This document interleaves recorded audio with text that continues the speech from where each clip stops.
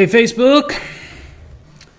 Don Victor here doing the Core 80 call. Today is number 12, and uh, here's the opening screen. Here's my mug, and I welcome you to the Core 80 call. Today we're going to look at a painting by Tansey, I think is how you pronounce his last name, Tansey. Uh, it's called The Triumph Over Mas- Mastery. And uh, and this video uh, will be dedicated to the one and only Bill Jordan.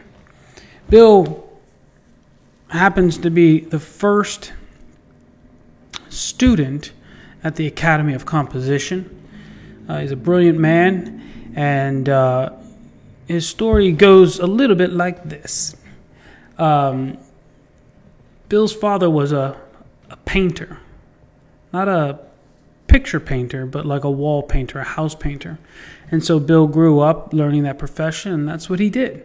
He went out, he started, he had a career as a wall painter and wallpaperer, and uh, and then when he retired, he decided um, that it was time for him to live the dream that he always wanted to be, which was an artist and uh, and so he decided to go from painting people's walls to painting the stuff that goes on their walls, and uh, and so he came to the academy because he knew that at his age he didn't have time to waste, and he needed the biggest bang for his buck, which was uh, composition. He he knew that, and he knew where to go, and um, and so he came, and he was the first uh, student to show up with cash in hand and and uh, and, and and passion, and so uh, he's been running ever since, and uh, and he's become a very very dear dear friend of mine. So he's been he's been along this ride along with Costanza uh, since the beginning, and um, I'm gonna tell you guys I love Bill. I love Bill. And I love those who are already in the core 80. I'll tell you how much I love you guys. Sometimes in life, a fire comes along, starts burning down your house. And in the midst of that fire, you got to make some, some serious, serious decisions or people are going to get hurt. Houses are going to be burned. Neighborhoods could go up. You could lose a lot of stuff. So, a couple years ago, I was trying to uh, make my dad's famous french fries. And, like an idiot, I put a lid on top of this pot of boiling oil, thinking, oh, if I put the lid on top, it'll kind of, you know, heat up quicker. Now, luckily, I paid attention in chemistry class, and when I went to lift up the the the uh, the lid, I was always told never to lift up the lid and facing you because the steam could hit you in the face. And so I just always lift up the lid and point it away so the steam runs back. Well, that's what I did. I, I, I, just naturally did that.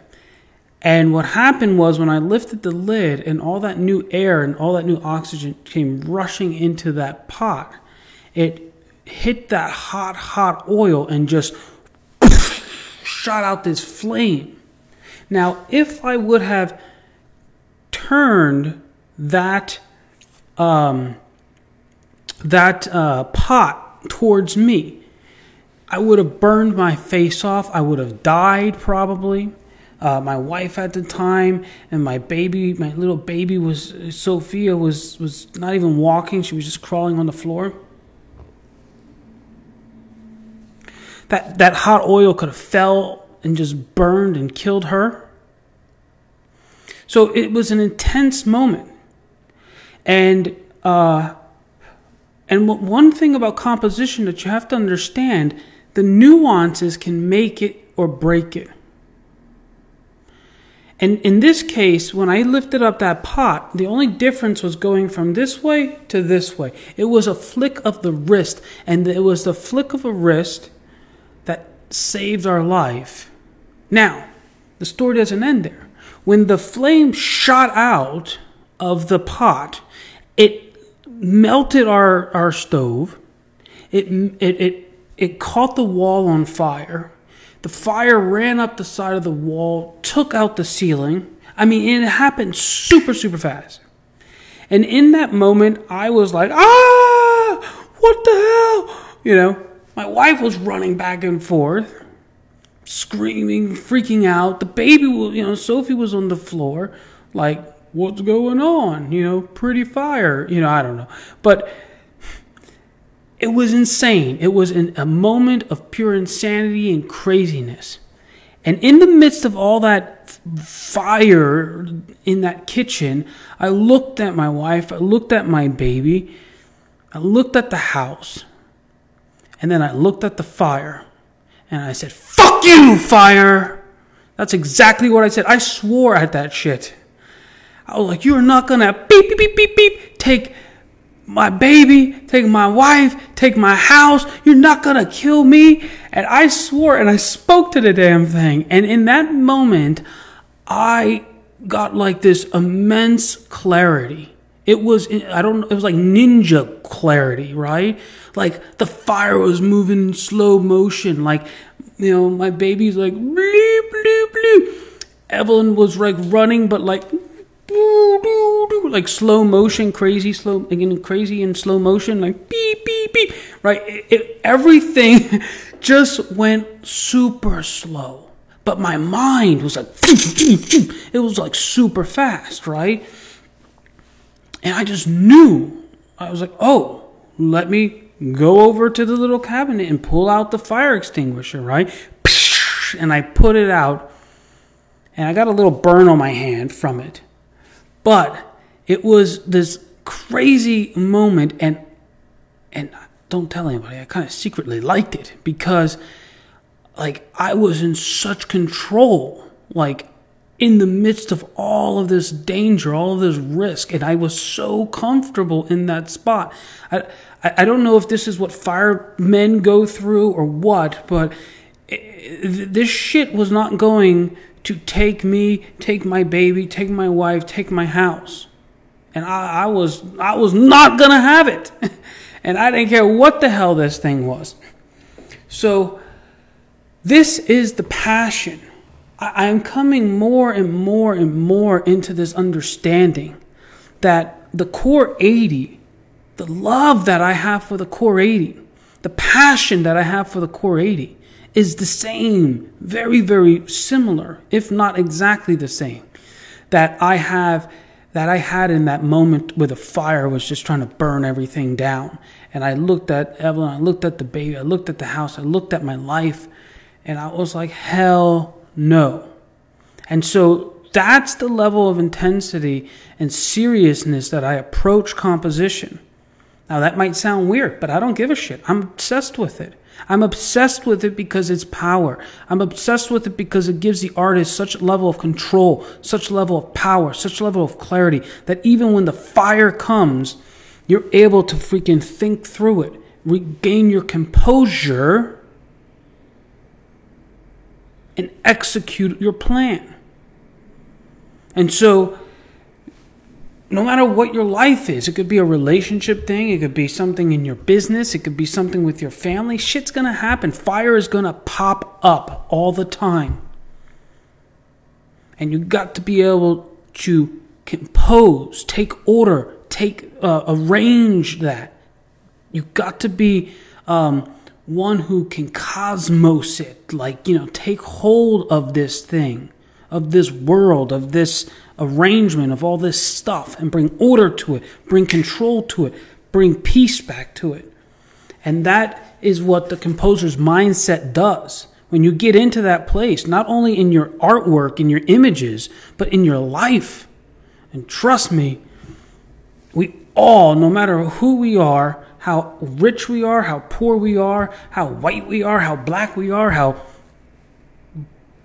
woman we are, man we are, whatever the hell you are, we all have to deal with crap. The rain falls on the just and the unjust. The question is, are you going to be wise enough to carry a damn umbrella? And if you don't have an umbrella, are you going to be creative enough to go and put your head underneath a a, a big big leaf? You know, or are you just going to say, "Screw it! I'll embrace the rain. I'm taking a shower." So, this is what we get to do as human beings. We get to use our intelligence. We use our creativity. We problem solve stuff, no matter what the hell it is, and no matter who it is. And like our thrust maps, we got to have a center focus we have to have a clear point of dominant contrast, that thing that becomes the soloist, that becomes the most important thing. It's not the subject per se, but it is a thing that we focus on. And my focus right now is the core 80. You don't understand the power of who and what that is. My job over the next uh, 87 days, 88 days, is to communicate on a daily basis the power, the intensity, the seriousness of that. And if, and if you want to be part of that, Facebook message me so that you can come into that fold. You can be trained. You can take your, your art. I don't care if you're a professional art. I don't give a shit if you've been painting for 40 years. Trust me, you ain't seen nothing like this. You're going to think you know what you know. And you're going to come into this space and you're going to be like, what the hell was I doing for the last 40 years?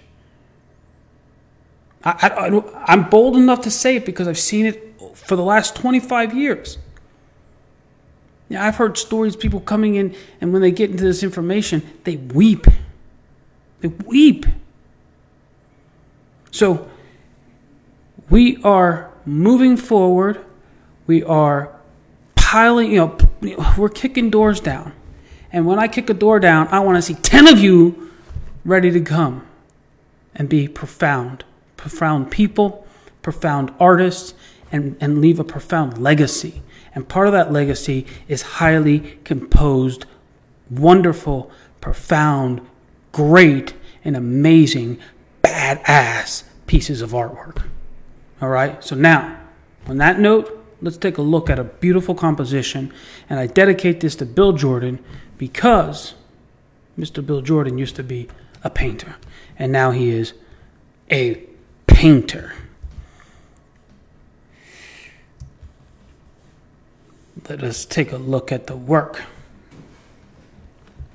The mastery, triumph, triumph over mastery. Look at this beautiful work of design. So simple, so elegant, so powerful, so clear. You don't walk in here and say, Oh, I think this is about an elephant running from a mouse. What the, what the hell are you talking about? Look at the strength in this man's body. He almost looks like a gymnast, right? Like those guys, uh, you know, like he's going to do a flagpole off that off that ladder. So, let, when I look at this work, let me show you what I see and uh, and how I engage with this piece of uh, work as a composer.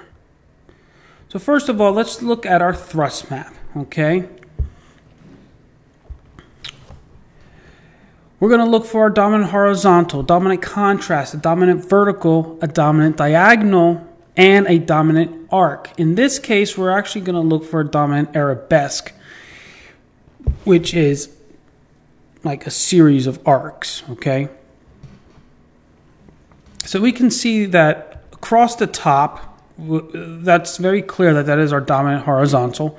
It is the place that divides the, the top from the bottom.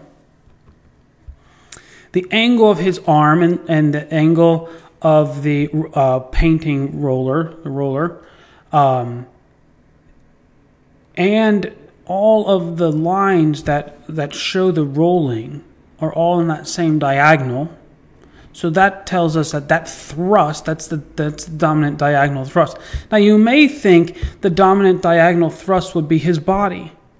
And you could make an argument for that, but I, the reason why I, I, I would say that it's not is for two reasons. One, his body is important, but in terms of the significance of the piece, his arms are far, more important.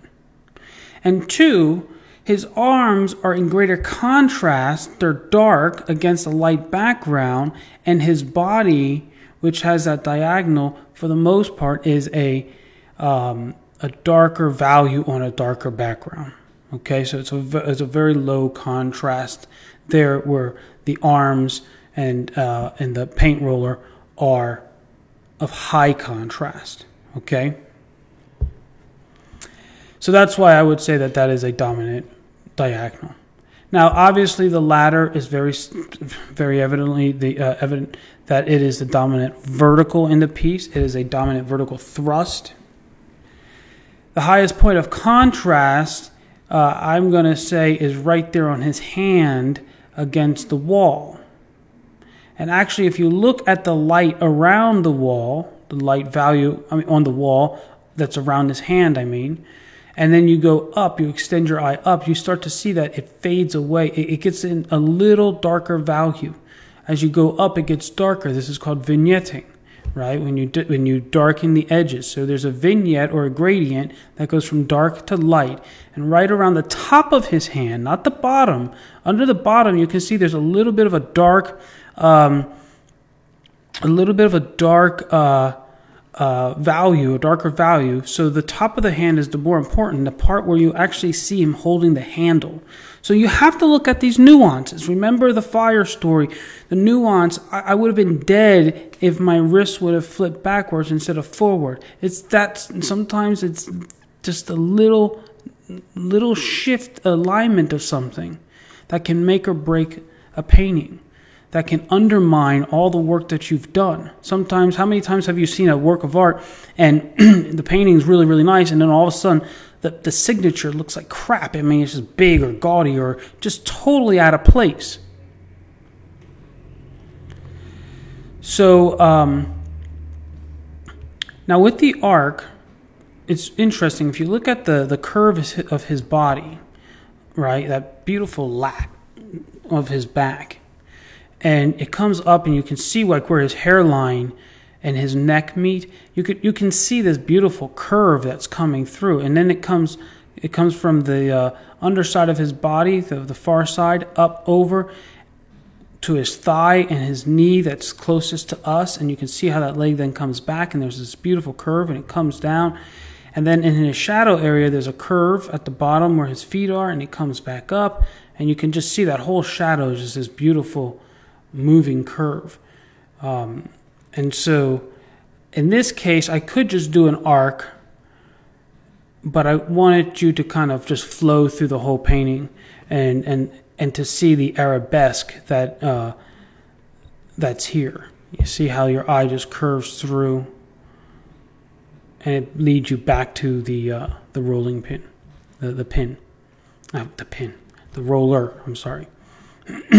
now, something I also want to show you is I want to play with some diagonals because repetition is an element of design and it is a very powerful uh, technique to bring clarity, to bring clarity, to bring clarity. And yes, I repeated that three times so that you would understand it brings exactly clarity. You can even extend that same diagonal um, in the relationship of the um, the arm on the shadow, uh, the uh, the the little steps on the ladder in the shadow. Okay, so there's a lot of repetition in this image, and that repetition brings confusion. I'm playing with you. It brings clarity. Okay. So when we eliminate, it's just like when we're painting, if we eliminate all of the colors, you know, we don't use every color in in the palette. We limit those things down to um, down to uh, a limited palette. It brings clarity. It brings harmony. It brings unity. It brings beauty. It brings elegance because we brought order to it. We arranged it. We we edited it. We emphasized certain things because we limited it. Okay? So, for example, if you have all the colors in a rainbow and you limit it and you get rid of all of the warm colors except one, well, now you have this beautiful, cool painting with this wonderful glow of warmth somewhere. Hold on one second. All right, cool. so, by limiting things, you actually increase its beauty because you give it clarity, you give it mood. It's the same thing when you're dealing with line and space. When you li- uh, uh, limit uh, um, limit the amount of lines that you use, it brings clarity, it brings order, it brings beauty, it brings grace into the work. It brings peace into the work because each line is a thought, and the more uh, that you repeat it, the, clear, the clearer that thought is. If it's a bunch of different lines, it's going to get very, very chaotic because it's saying a lot of different things. So here is this other diagonal, and you can see how it's being repeated and bringing your eye up and through. So this is a very, uh, just a very simple design, okay? But in its simplicity, it's very, very powerful, very, very elegant, and very, very effective. And so when you go to a museum, when you look at other people's work, I want you to, to look at the thrust maps. And I'm going to do a lot of thrust maps over the next 100 days because it's just a very simple technique I can share with you, train you in it, you know, here for free by just watching these. And you're going to begin to go to a museum and have a totally different experience. You're going to be able to look at your own artwork and begin to make better decisions you're go- if you apply these little techniques to what you're doing today, you're going to take you're going to grow in leaps and bounds. Now, if you want to accelerate that, then join the Core 80. Facebook message me about it so we can set up a time and have a conversation. We'll take a look at your artwork and see, you know, where your strengths are. Most artists are very strong in a certain in a couple areas of composition and extremely weak in, in, in others. And if you're strong in this, then, you know, encourage you in it, move forward. But then you're weak in these other areas, well, then we work on those and we build you up. And, um, you know, uh, our system is not about making you into a brick or into, you know, making everybody look the same um, or any of that kind of nonsense. We are about helping you chisel so that you're a perfect stone, your own living stone. And what that means is that when you when, when you become when you get in relationship with other people, you don't look just like them. You don't look like them. Okay? You have your own groove. You have your own part, your own processes, right? Your own, uh, your own scars, if you will. You've been chiseled your own way, and you, and we need to take a look at you, and analyze you, critique you, not just your artwork, but you. And find your treasure, find your value, just like in a work of art. We need to know hey, man, what's your dominant contrast? What are you obsessed about in your life? What's your dominant vertical? What's your power stance? Where are you at rest? What's your dominant horizontal? What drives you? What's your passion? That's your dominant vertical. Where's your grace? Hmm? Dominant curve. So it applies to your life, it applies to your artwork. This is why we're creating not just professional artists who sell artwork or emerging artists, we're just not training artists. For us to win means that you have to not only be able to create at a high level, compose at a high level, but also tell amazing stories. Share something of value with another person. So when they come and they see your work, they leave with uh, an idea, a feeling, an experience, something profound, something that they can take and guide themselves as they go through life. I mean, if you don't want to, you know, create work at that level, then all be, you know, keep watching the videos, you know, uh, and, and good luck. That's awesome. But if you want to compose at that higher level, you want to live at that higher level, you want to get out of the the local nonsense and start becoming cosmopolitan. And, and I don't mean just a citizen of the world. I mean cosmo, meaning the world, meaning to order, to put government, to put order into something, to put, a, to arrange. It means to compose. To compose our earth, to compose our art. What do you think? Uh, geometry. You see all, you see the geometry behind me? Look at that beautiful lines and spaces. That's gorgeous, isn't it? Sexy. Damn right it's sexy. Look at that beautiful little cheetah. Oh, on the other side of me. That's a sexy cheetah. That's a sexy horse. Look at that snail. Have you ever seen a sexy snail? That's a sexy snail. that sounds kind of gross, actually. But anyway, still sexy. So, this is what we're about. We want profound ideas. We want awesome ideas. We want awesome people. We want awesome art. And that's what we do here. So, I thank you for watching, and I will see you guys tomorrow. Remember to share, share, share with your community. Um, you know, just click the little share button. You know, share it with your friend, share it on your, your profile page, share it in some groups that you're in and also leave some comments if you have questions. Um, you know, the community is there to help you uh, answer them. I'll jump in sometimes and answer them, but leave some comments as well. All right. I'll see you guys tomorrow. Thank you. I love you guys.